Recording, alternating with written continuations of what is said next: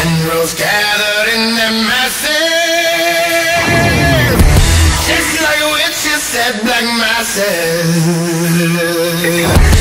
Evil minds that plan destruction.